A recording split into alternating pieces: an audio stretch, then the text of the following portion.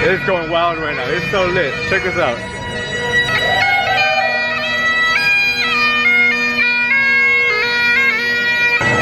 So I have no idea what that's about, but that is cool because we're in Bangkok and we just heard that. So cool.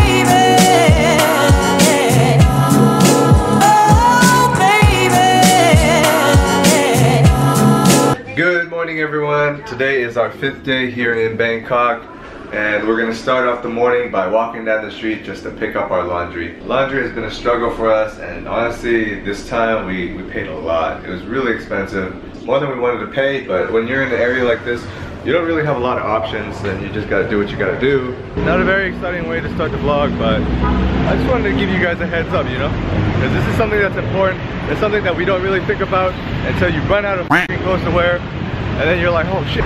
Be prepared to do your laundry at every location. Since we're walking, we don't have anything to do, I want to share a funny story with you. Yesterday while we were walking down this street looking for a laundry place, we ran into this uh, super pimp over here and uh, he followed us for like a good 20 minutes trying to get us to go to his uh, massage parlor. He told us, you know, he's got a hundred girls, you can choose you want you want, and like 1500 baht, hour and a half, you could do whatever the hell you want. He said he's got big rooms, big beds, lets you do whatever you want. Go to massage, probably not a good massage. We're trying really hard to get away from him, but he was very persistent. But we escaped because you know we're not about that kind of shit uh, i'm sure you guys saw yesterday but over here to cross the street foggy like over here to cross the street you just grab a flag one of these and you just wave that shit while you cross i don't see any of the locals doing it it must be tourist ass fools like me and tony who do it but we're gonna do it again because we do need to get our laundry which is over there all right so we go this is how you survive. safety first, guys. Yo, safety first.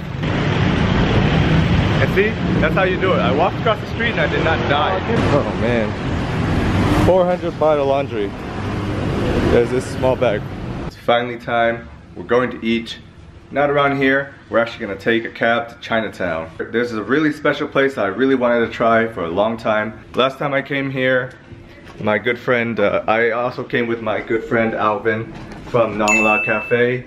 Um, he tried this place and he told me something really, really, really good about it. And it really set some really high expectations in my mind. Alvin, I'm giving you some credibility here. So I'm gonna go try this place out. He told me he had some of the best So we'll see. All right guys, just arrived at the Grand China Hotel here in the Chinatown, Bangkok. And uh, yeah the restaurant that we're going to is somewhere nearby. The problem is we don't actually know where it is. Uh, my friend is just giving me like directions. Something like you go out the main entrance make a left make, take another left look for the lady with the white hair and that's how we're supposed to find the restaurant so this might be a little bit of a struggle uh, we're still waiting for Micah to meet us up so we're just kind of walking around taking a look around this place because it's uh at this hotel it's actually like they, they have a shopping center within the hotel too. Micah being uh, from Seattle, working in Seattle, he saw the Starbucks and he could not resist. He could not resist. but uh, the prices are not cheap here. That's basically like regular Starbucks prices. So don't expect the Thai discount here. So now we met up with Micah and we are headed to the restaurant. I'm going off some very vague instructions, so I really, really hope that we do find it.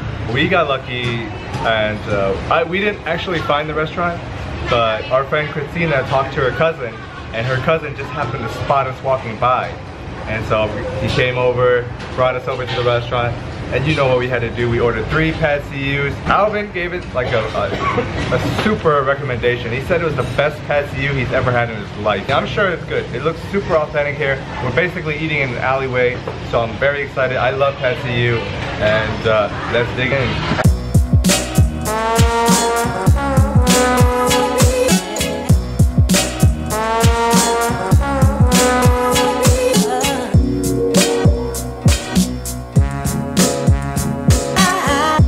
Like I said, we didn't actually find the restaurant. They found us. Check it out. This is the small alleyway that she was talking about. So what you do is you start at the Grand China Hotel. You take a left out of the main entrance, you walk all the way down until you see the first alleyway. Then you take a left and then the restaurant will be on your right about maybe like 50 feet into into the alleyway. It's gonna be on your right. So check it out. The reason I couldn't tell you a name or an address is because I don't really think they have one. Like they, they, they literally do not have one. It's just an alleyway. So I will say that it is definitely a gem over here. I'm giving them this glowing recommendation because the food was so good. All of us ordered seconds. So give them a try. Now that we finished up with lunch, I think Tony, Micah, and I are gonna walk around Chinatown, do a little bit of exploring, and uh, just see what we can find, you know, because this very this area is very different from where our hotel is and uh, kind of the areas that we've been at the past few days. If you do come to Bangkok, I recommend definitely checking out Chinatown because it gives you a very different maybe even a more authentic feel than uh, over there in the city. So absolutely keep that in mind. I'm also sure that you guys have noticed by now, Tony and I, we picked up these, uh, the Migos glasses. And uh, you know, unfortunately, we showed a friend of ours, shout out to Hatal, who said we were actually ugly as with them. We reconsidered, and then we decided to buy them anyway because it's sick. Don't you guys think? I'm just kidding. I mean, if you guys still think I'm ugly, then just just put it in put it in the comments if we're still ugly. But it is what it is. I bought it already.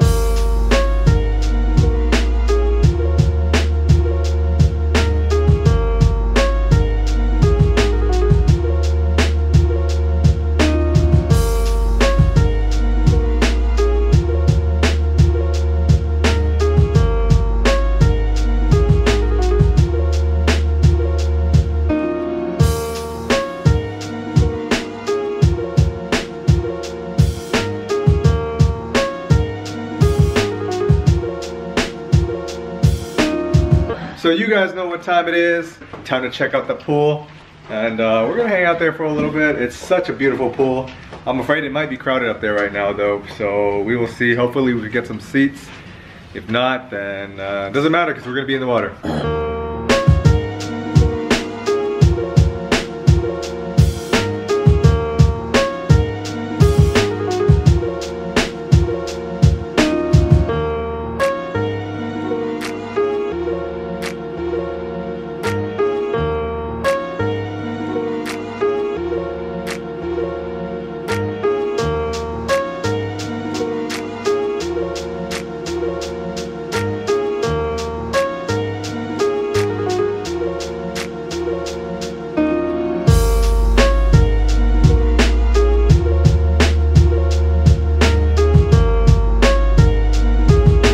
Just got to our location. We're over here at the Li, the Lebua at State Tower. And over here is where they have a, a very, very nice rooftop bar. You guys might recognize it from The Hangover 2 if you guys watch that movie.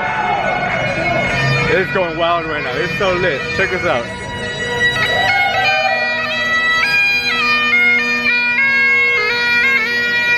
This bar is located on the 64th floor at the State Tower. And it's also a hotel, I guess.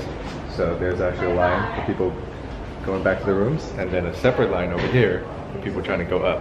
It seems to be a long wait because I've been here for a little bit. But, you know, I guess I can't complain. 64th floor, that's crazy.